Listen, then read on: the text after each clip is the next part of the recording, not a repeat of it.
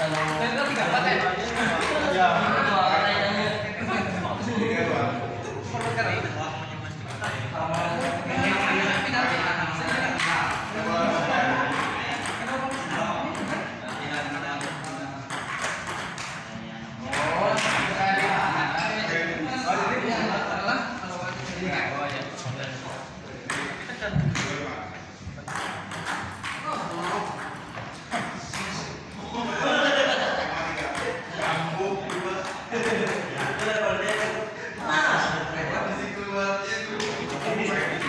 Kita